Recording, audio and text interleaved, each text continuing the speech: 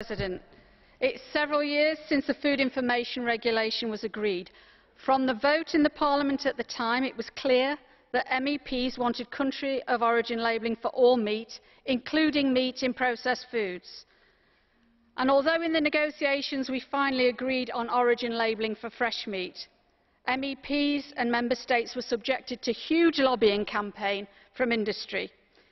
In the end, unfortunately, we could not get agreement from the Council on meat in processed foods. But of course, consumer groups were at a massive disadvantage because they just can't compete with the lobbying resources available to industry. Now, the Commission report states the, cost the costs will increase if we have country of origin labelling.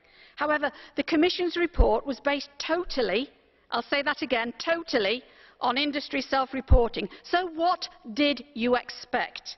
Consumer organisations were invited to the, uh, to the, focus groups, but they are, clear to me they did not and do not endorse the report's findings. Consumer research from France found that labelling the meat in a frozen lasagne cost just one and a half euro cents, and for a bolognese sauce it would be less than a cent. Hardly that expensive, I think.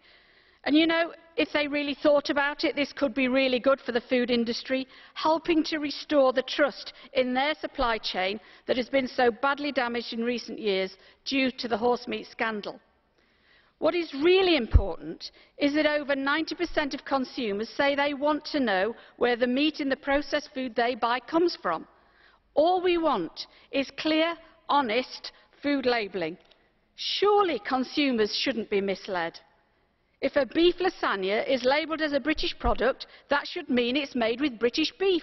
And if it's labelled as a French product, it should be made with beef from France. It's not that difficult to understand.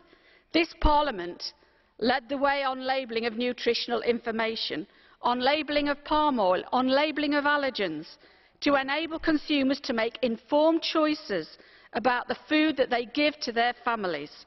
This week, we must send a clear, strong message to the Commission to bring forward proposals for mandatory country of origin labelling of meat in processed foods. It's clearly what the Parliament wants, it's clearly what the farmers want, and more importantly, it's clearly what consumers want.